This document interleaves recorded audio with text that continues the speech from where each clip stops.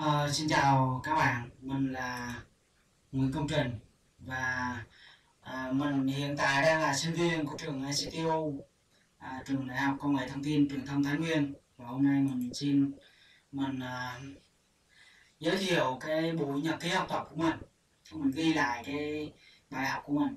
Hôm nay sẽ học về cái bài led bảy thanh, mình sẽ lập trình cho cái con led bảy thanh này và để lập trình cho cái con led bảy thanh này thì nhà trường đã có à, trên trường trên lớp nhiều thầy cô đã giảng rồi. Và bây giờ mình chỉ việc mình à, nói lại cho các bạn mình truy đạt lại cho các bạn mình bổ sung thêm à, những điểm những điều à, đáng lưu ý trong cái à, trong cái chuỗi bài học về à, lập trình môn vi à, cái môn này được gọi là môn à, lập trình à, thực hành vi điều khiển. Đấy. và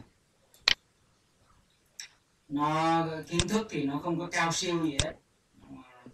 Nó đòi hỏi phải có sự tỉ mẩn cao cao độ cho nên là mệt mệt nhọc cho những ai mà lười.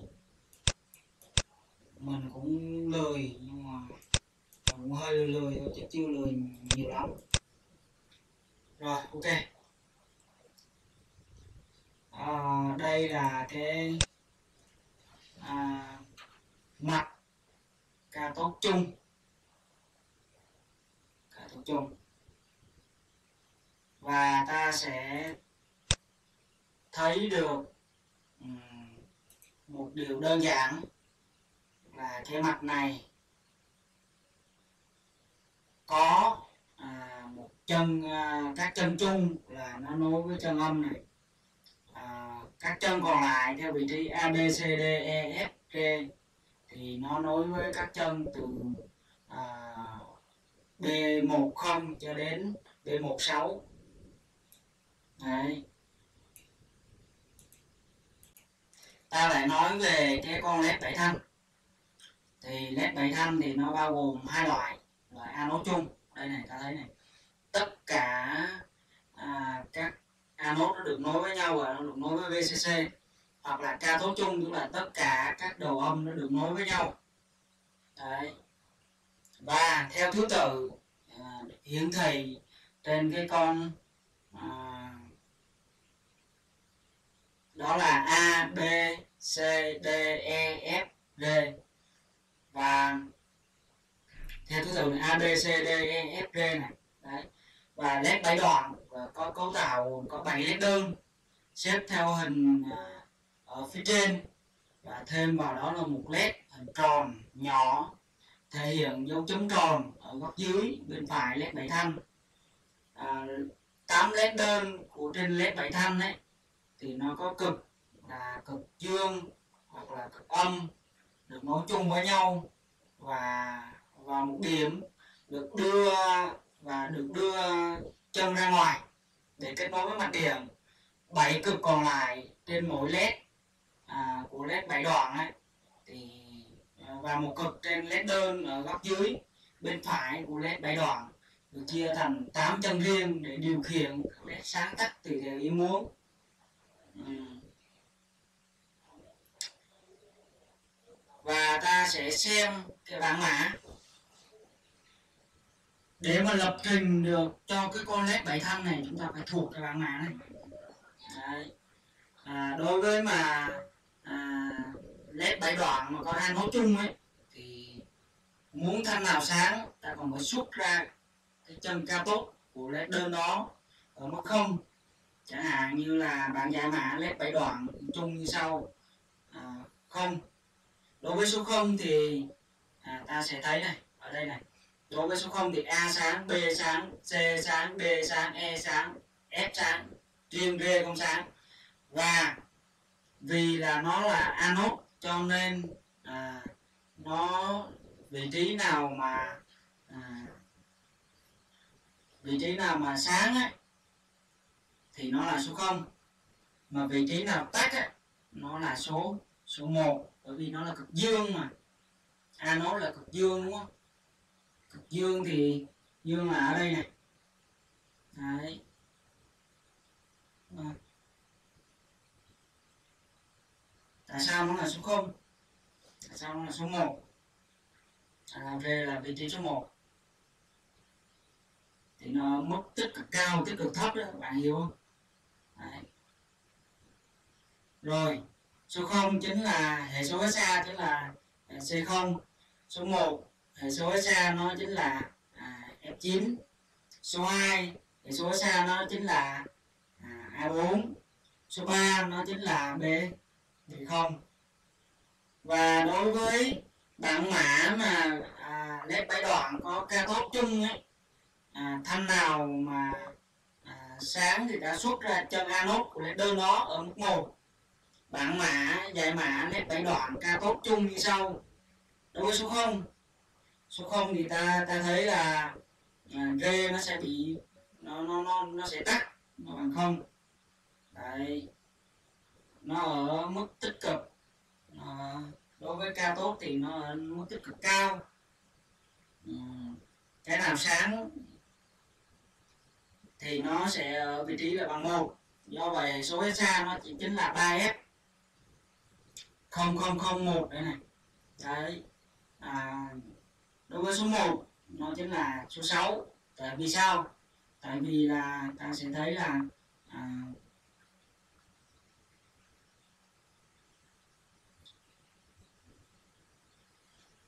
Đấy. 06 còn ở vị trí số 2 nó chính là 5B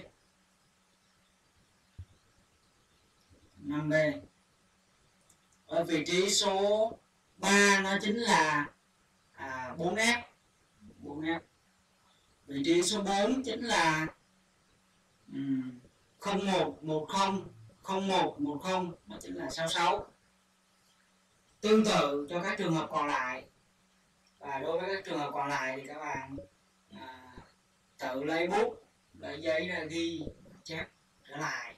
Và mình cũng chép cái này để à, trên đầu giường ấy để học thuộc.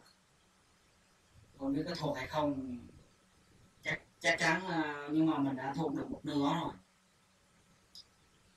Cái này mình đã thuộc được một nửa luôn rồi. Rồi ok à, tiếp tục qua cái con này. Bây giờ chúng ta cần phải nạp cốt cho nó. Mà muốn nạp cốt thì chúng ta phải ghi cốt. Không có cách nào khác. Ghi cốt. Bây giờ thì ta thử cho cái con led 7 thanh này nó sáng là 13579 thử xem như thế nào thì muốn như thế thì ta phải lập trình cho nó. Ta lập trình. À, đầu tiên là unsize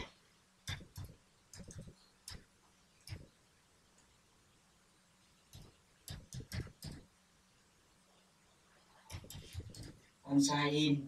Ít. Ít nó chính là cái mảng à, chứa các giá trị mà cái con led 7 thanh này. À chúng ta xem con led ban nãy là con led à, ca tốt đúng không? Ca tốt thì à, vị trí số 0 chính là 3 f vị trí số 1 chính là 0 x 6 à, 06 đây à.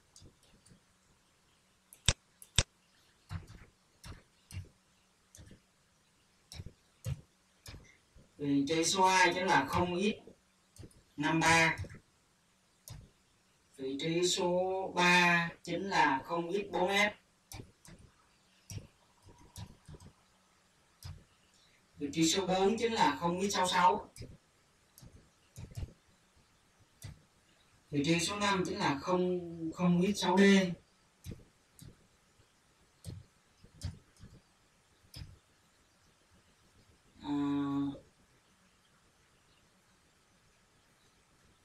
Vị trí số 6 chính là 0x7D. Vị trí số 7 chính là 0x à, 07. Vị trí số 8 chính là 0x7F. Vị trí số 9 chính là 0x6F. Rồi, ok ta đã lập trình tới đây. Tiếp theo là ta sẽ à, tạo cho nó cái biến thể đúng không? Void dĩ nhiên rồi thân sai,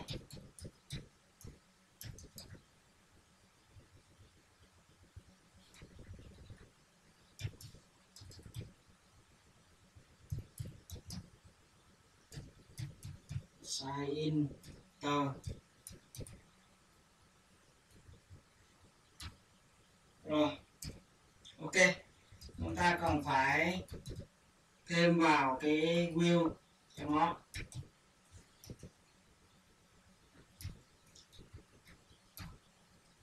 Được chưa? Rồi ta khởi động void main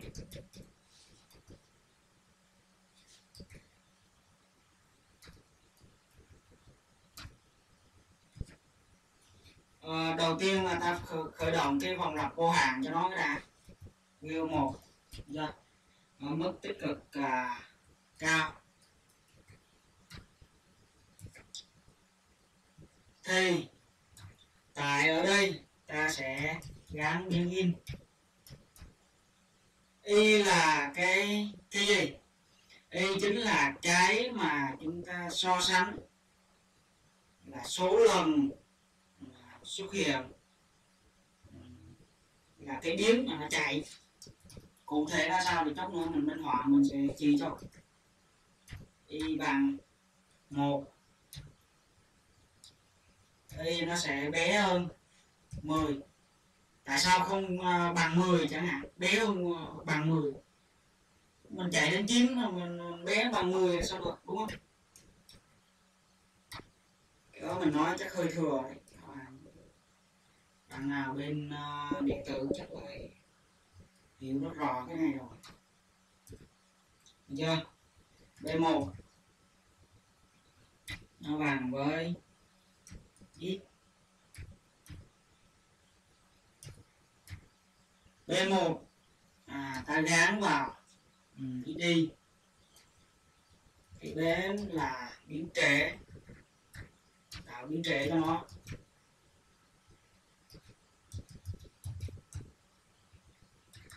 Trẻ phải nhiều vào. Trẻ ít qua kho không, nó không nhiều ngại đâu.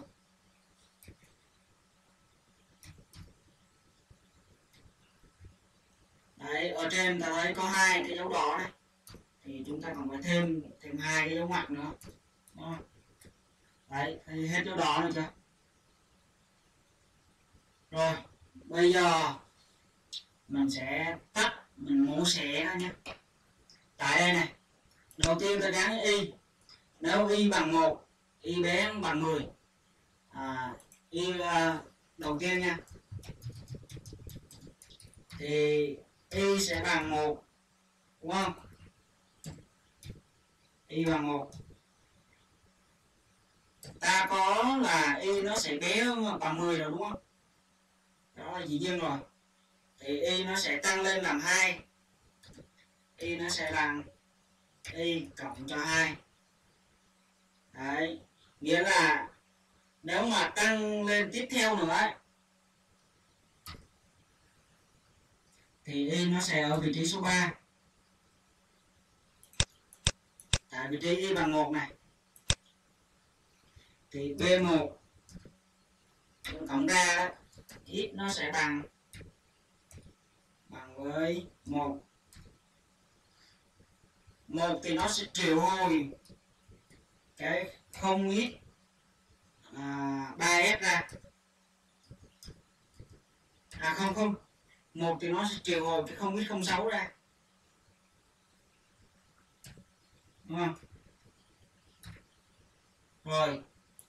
Sau khi nó chạy xong rồi nó sẽ dừng lại tại đây này. Sau khi nó chạy tới đây rồi nó sẽ dừng lại một khoảng thời gian là 500 mi giây được chưa? Rồi, tiếp theo là y nó sẽ chạy tiếp. Đấy, y nó sẽ chạy lần y cộng hai, nghĩa là y nó sẽ bằng ba. Y nó sẽ bằng ba. Uhm. y bằng ba. Sau khi bằng ba rồi thì b1 sẽ bằng x à, xy tức là x x3 b1 lúc bây, uh, à, bây giờ sẽ chạy sang vị trí số 3 và vì nó chạy sang vị trí số 3 nó, nó triệu hồi cái con à, cái con à, không ít 4 f ra. Đúng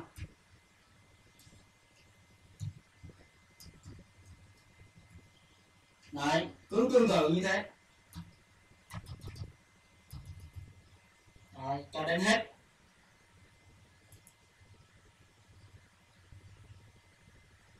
Và ta sẽ biên dịch nó ra xem thử đúng không? Đây mình kéo xuống dưới cho các bạn. Ok. À, ta có sai một chút đỉnh nào ở vị trí số kéo bằng gì đấy. Ở vị trí số 9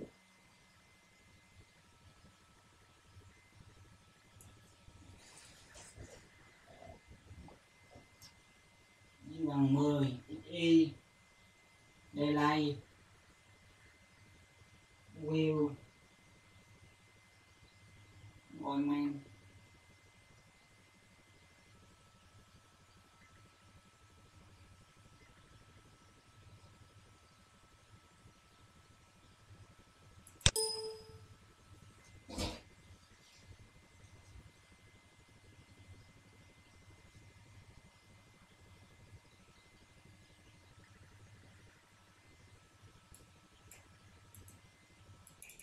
à cái lỗ này mình hiểu rồi. Chỗ này mình thiếu dấu chấm phẩy lỗi này mình thiếu dấu chấm phẩy đúng không? Chính vì vậy mình, mà mình dịch ra là nó không có chạy. Đấy, thấy chưa? Nó áo quân nhìn là thấy không? Không? Bây giờ chúng ta dịch nó ra.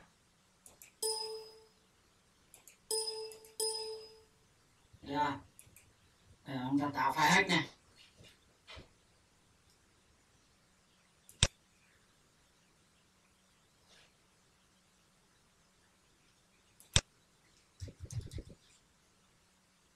vào thư mục uh, có tên là ngay bây giờ 123 đi. Chưa rồi ok. Bây giờ chúng ta lấy file hết ra này. À, vào output vào select folder object.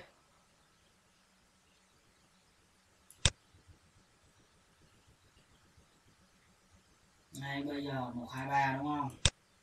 Hôm nay mục tiêu chúng ta tìm là chúng ta tìm phải hết thôi vào lúc 9 giờ à, 45 ngày 10 tháng 2 đúng rồi. Đây. Đấy, như thế đơn giản như thế thôi. Và việc còn lại của chúng ta chính là à, đặt cái file hết ra bên ngoài. Và sau đó à, nạp nó vào cốt ok bây giờ chúng ta nạp nó vào cốt nhé. À, ban nãy mình bỏ là ở ngoài desktop ngay bây giờ đây có chưa? Dịch nó ra. Đâu rồi đâu rồi đâu rồi đâu rồi. Cho nó chạy. Một ba năm bảy chín. Một ba năm bảy chín. Ok chưa? Như thế là chúng ta hoàn thành xong cái bài 13579 tại đây. Và ở mục sau thì sẽ có những bài sau nữa. Những bài sau nữa nó chạy những con khác nữa. Và mình sẽ nói ở cái nó lòng cái vòng là for ở phần sau nữa. Và bài nhật ký học tập à, tạm dừng tại uh, ngày hôm nay nhé.